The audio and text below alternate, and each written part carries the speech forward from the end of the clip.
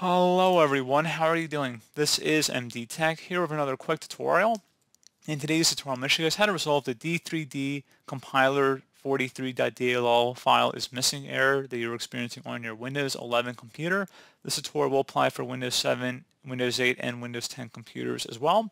And without further ado, let's go ahead and jump right into it. So we're going to start off by opening up a web browser. Doesn't matter which one, but I'm going to open up Google Chrome for today's tutorial.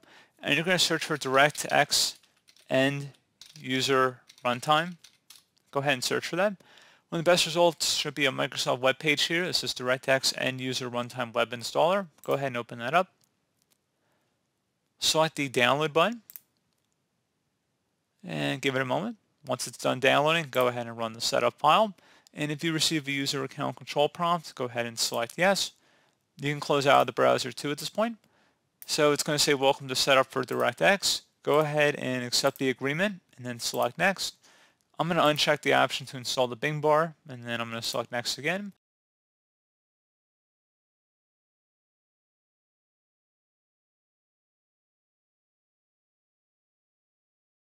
And go ahead and select next.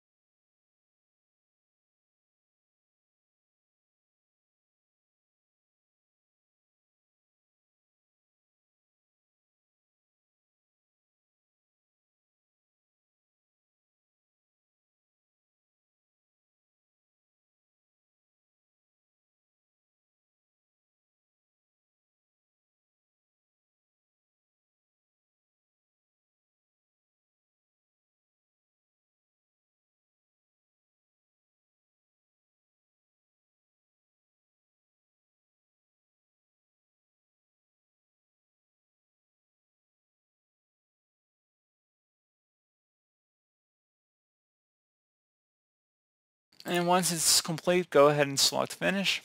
And now you will want to restart your computer.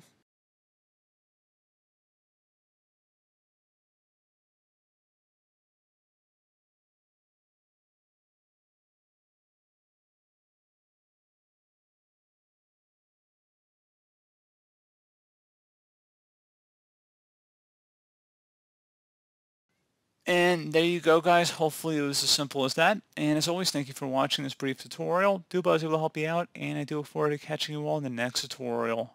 Goodbye.